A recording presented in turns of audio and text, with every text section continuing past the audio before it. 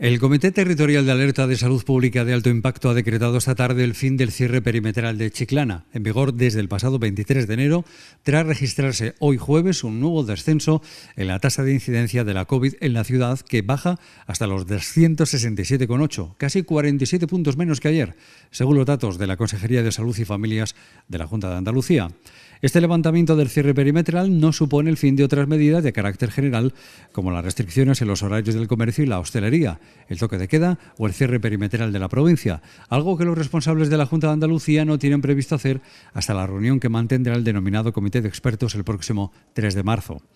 Cabe destacar que solamente cinco municipios gaditanos, Barbate, Alcalá del Valle, Grazalema, Olvera y Puerto Serrano, se mantendrán con cierre perimetral al superar los 500 casos. Esta apertura afecta además de Chiclana a otras grandes localidades de nuestro entorno, como Cádiz Capital, San Fernando y Algeciras. Asimismo, destacar que la tasa de incidencia media en la provincia ha bajado hasta los 237,4 contagios por cada 100.000 habitantes.